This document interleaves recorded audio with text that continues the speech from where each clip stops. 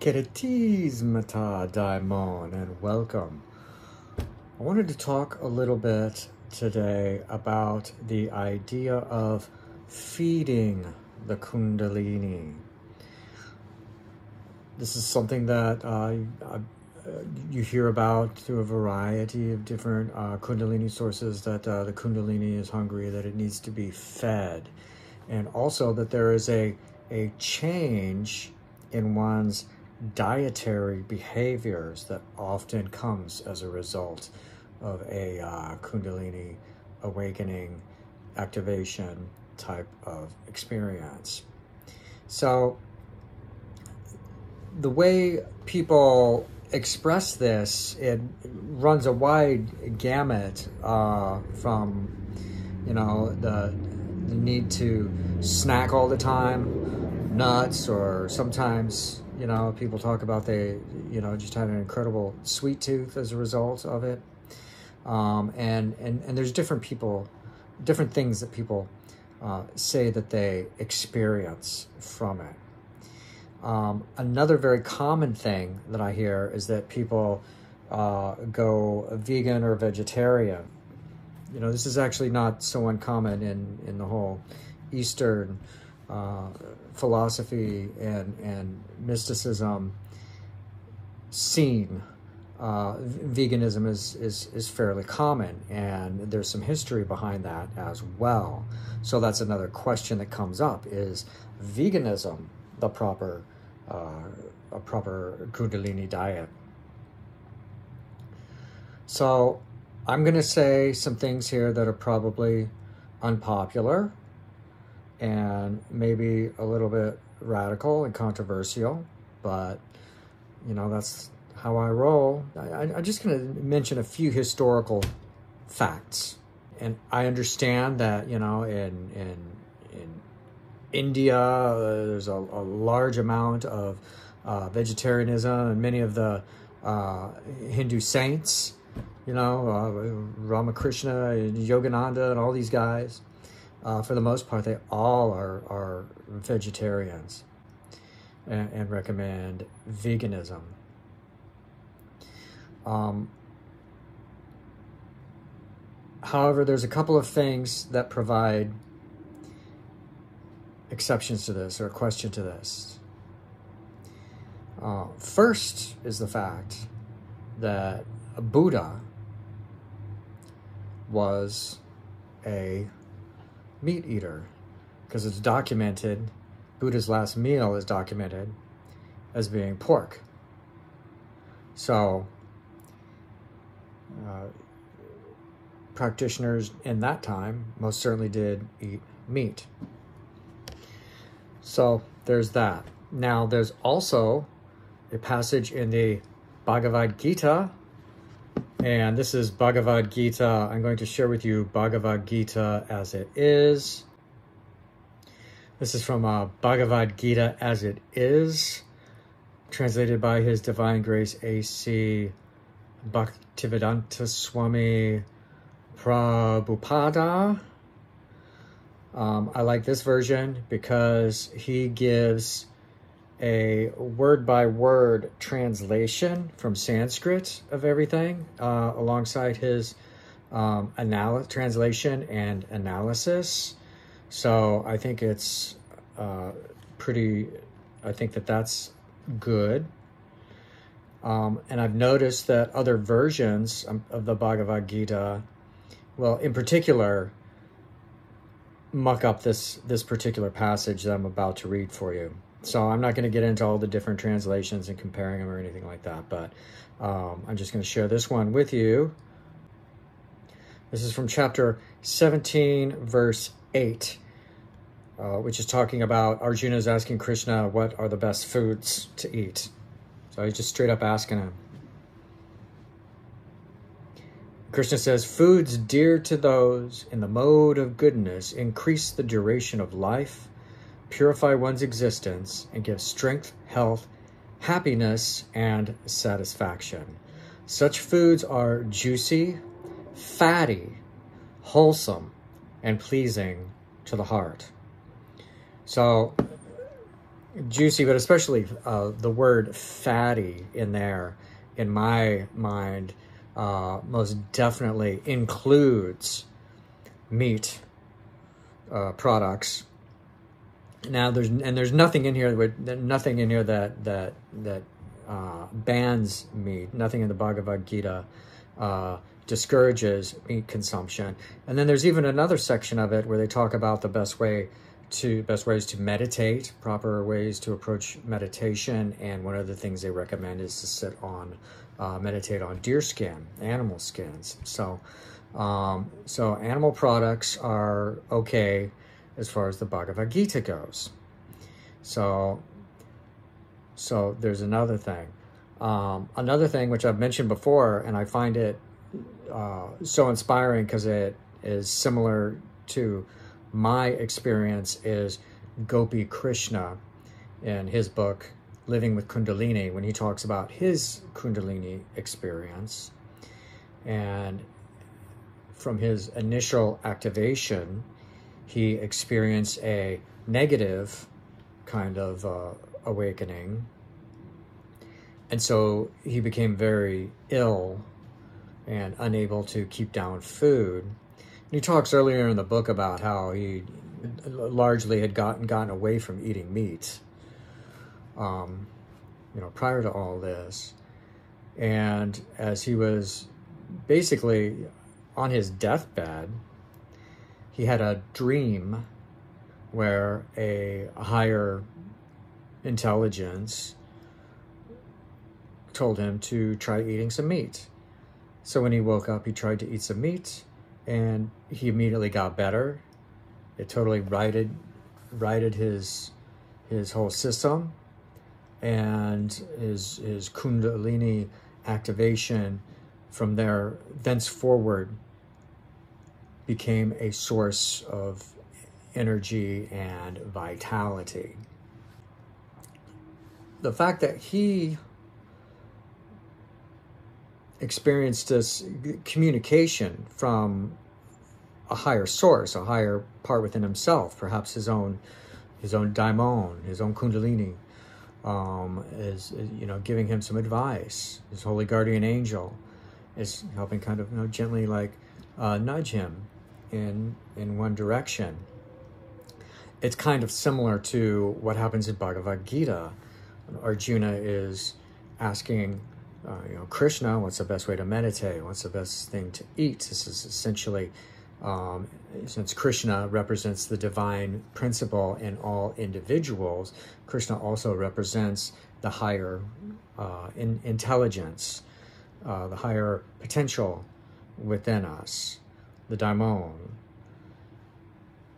And so Arjuna is asking his higher self for guidance in, in what is the right thing to eat. So, out there in the ordinary world, no one knows what is the right thing to eat. As a society, as a culture, we don't know what the, you know, after thousands and thousands of years, right here on planet Earth, we do not, as a, as civilization, know what the right thing to eat is. There's a million different diets and all kinds of different ideas about this, and everyone's just really confused. So, what some people like to say is that everyone is different and everyone has their own particular uh, dietary formula that they need to dial in for themselves. So, I'm willing to concede that possibility. Um, I'm not going to die on a hill saying that it's not true. However, my own experiences, which I'm going to talk about next, lead me to feel that it's not really true that everyone has a different um, a, a different formula for what kinds of foods they should eat. Rather, everyone, when they start eating uh, lots of really bad and, and, and toxic types of foods that we have a different and individualistic way in which our body responds with uh, a, you know one of many autoimmune conditions um, or insulin resistance and arthritis um, and, and various things like that. So, getting back to my experience um, and the way this all unfolded for me, and I've already I've, I've talked a lot on this show about my experience with ulcerative colitis. Um, I had uh, I was diagnosed with it in 2014, and before I got the diagnosis and got some high-powered uh, steroids and other drugs to, to set me straight. I was I was on my deathbed. I completely um, related to Gopi Krishna's story about laying on his laying on his bed and not being able to get up because he was so incredibly weak. Um, and I mean, it's possible that he had ulcerative colitis, entirely possible. Um, but I mean, that's that's how I felt, how he describes it in that book. And, and this is before I'd had a Kundalini awakening. Um, so after I got uh, prescribed medicine for it, this got me back to um, being able to function normally. Although I was never fully over it, I was always always felt a little bit colitis and after you know uh, certain certain foods would make make me feel a little more colitis and some a little bit less um, and I went through um, many different changes in my diet throughout all this. I swung very close to vegan and then I tried paleo. And then, um, you know, I was, uh, you know, just nothing would ever like ever really stick. Nothing would ever really stick. Like I would, I would try and, and get, I guess what, what you would, I would later understand as being keto. You know, I cut out uh, breads or, or something like that uh, for a while, but then I'd always come back to it. And I was still drinking alcohol all the time through all of it, anyhow. So it's almost like even if I did change my diet, it didn't matter so much because I was completely agitating myself with this uh, poisonous liquid that I was pouring into myself. So when I had an experience then that I could not fully account for during my morning meditation on November 15th of 2021 almost immediately from there things started to change and I didn't get any kind of new knowledge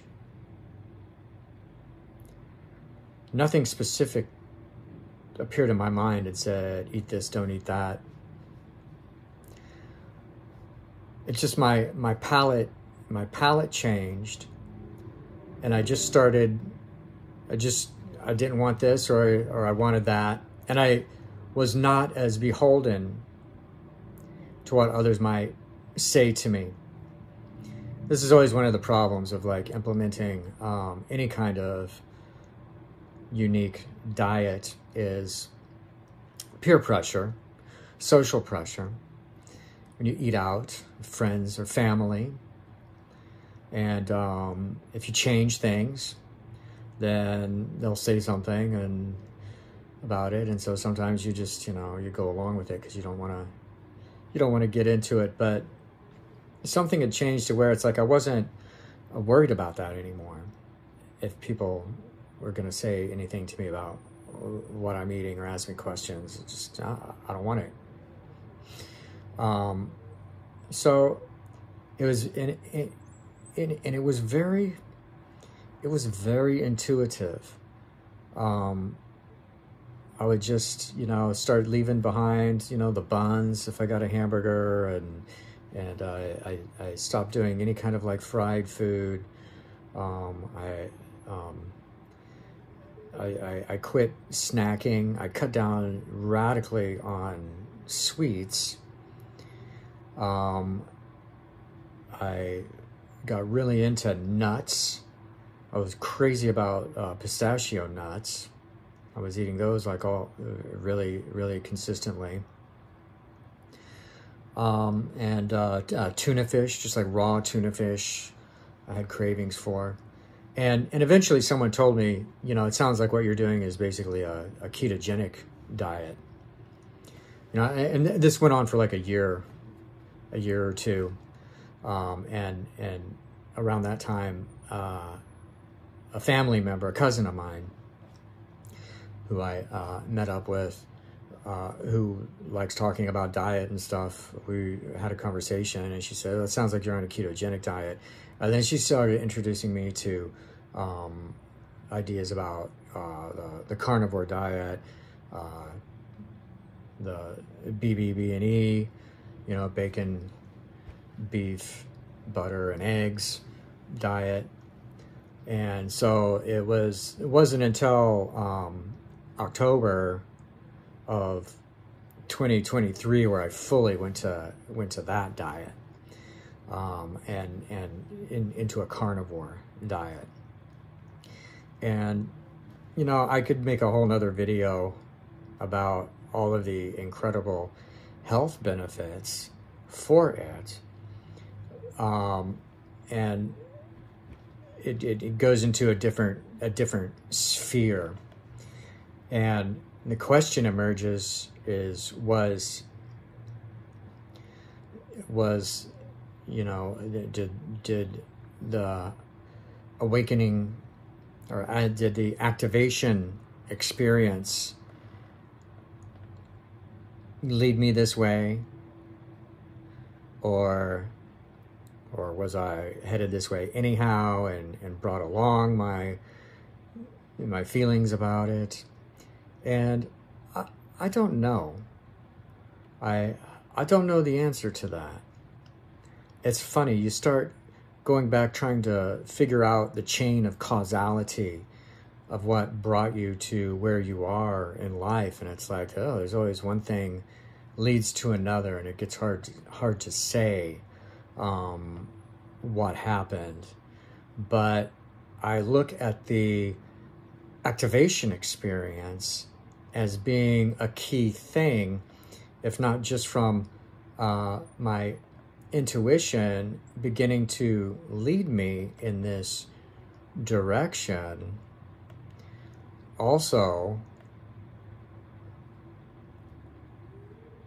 the falling away of the fear of needing always needing to maintain social obligations and need, needing to maintain a certain image and not wanting to uh, step on people's toes and and and having a inner um, confidence and just being okay with what I know is the proper thing uh, for me. And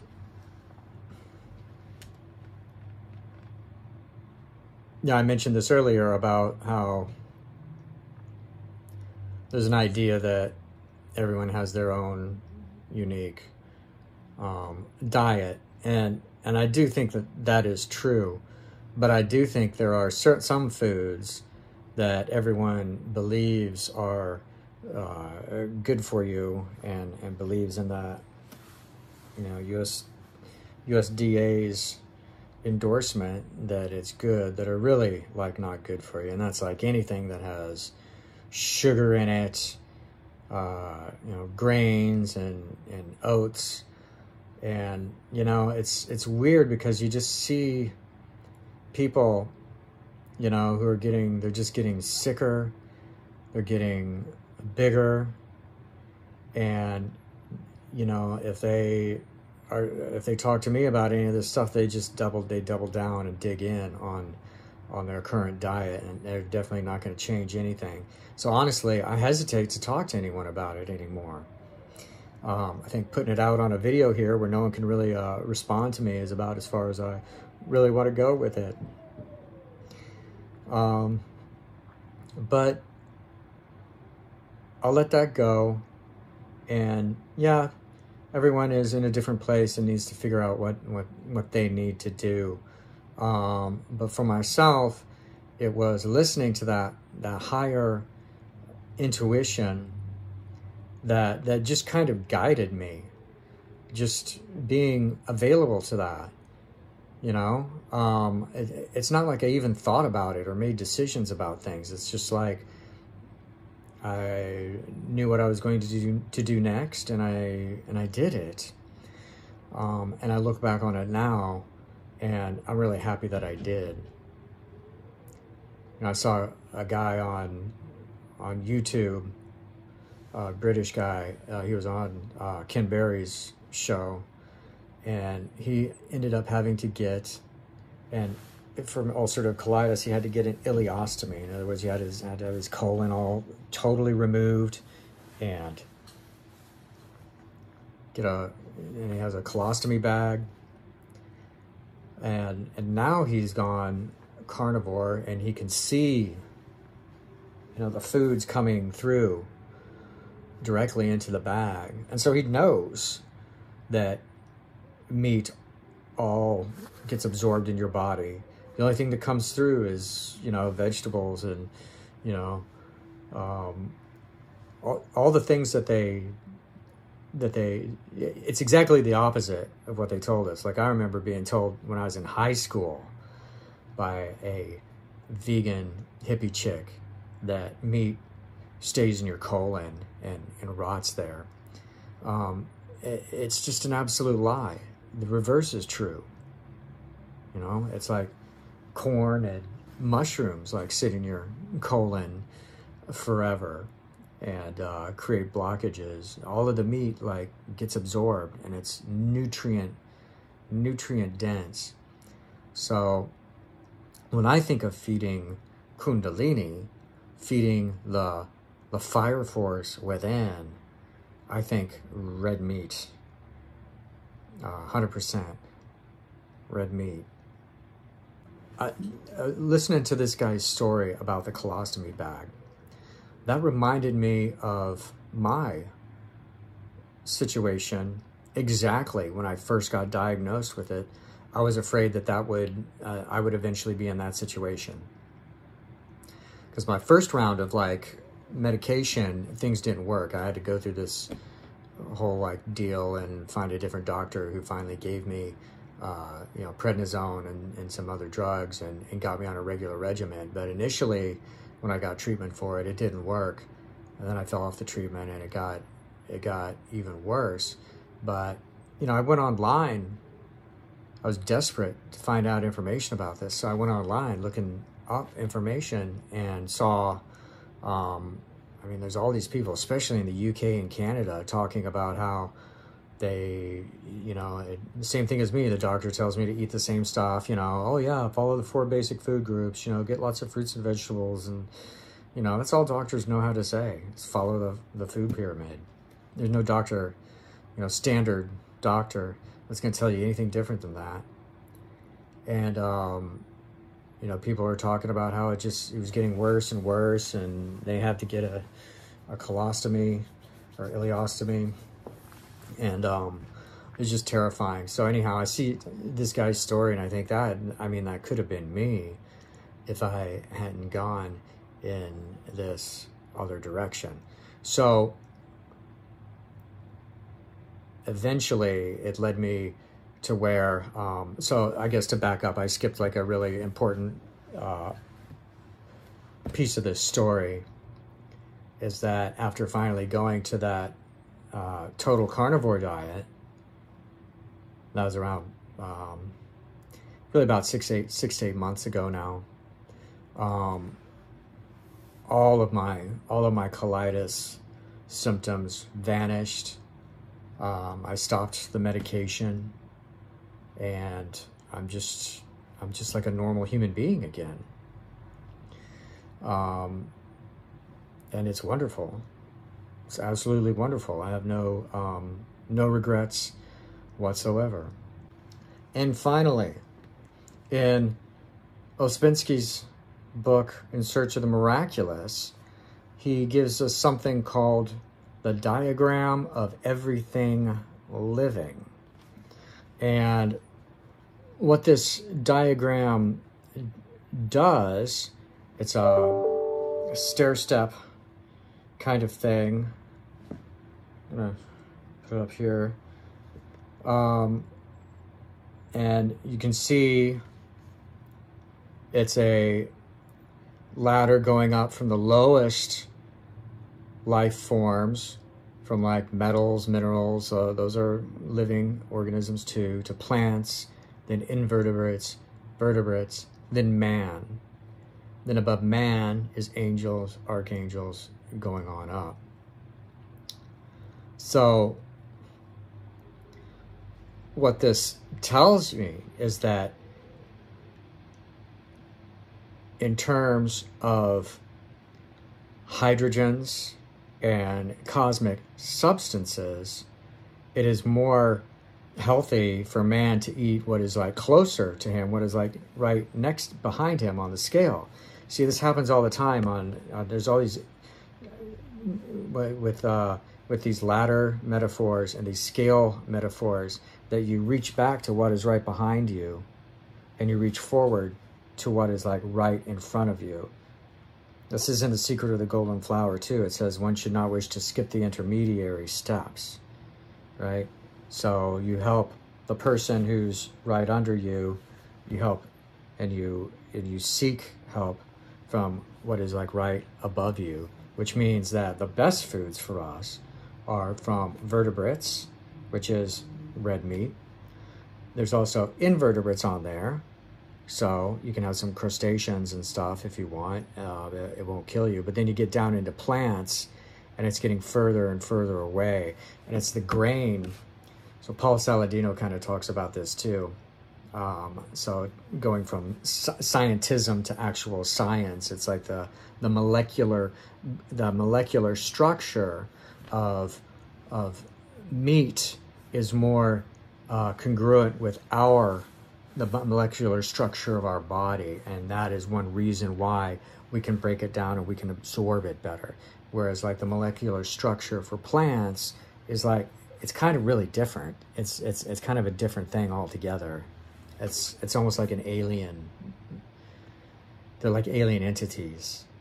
Like if you eat plants, it's like you're eating some kind of alien, uh, alien force. And so and that that's why it's making you sick. so, anyhow, um, those are my opinions for me. Um, it's entirely possible that every individual in the world has a different magical key for what they're supposed to eat, even though for thousands of years we all lived in one, you know, pretty much the same areas and only had the same options for food only very recently in human history have things opened up to where, oh my God, there's a million different kinds of foods anyone can eat. Um, it's a very recent thing in human history. Um, so it, it, it doesn't make sense considering that our bodies evolve over millions of years. Our biology is a result of like, it's, it's, it's more in line with what happened a million years ago than, than it is with what happened uh, a uh, hundred years ago. So even like uh, the hist historical record and, and evolutionary biology uh, indicates that no, it's not true that everyone has a special combination of the, the best thing to eat. Although I do think it's true that everyone has an individual combination of how they start to manifest uh, disease um, as a result of foods that aren't that great for you. So, the moral of this whole story is to always stay true go against the grain and keep the dark fires burning.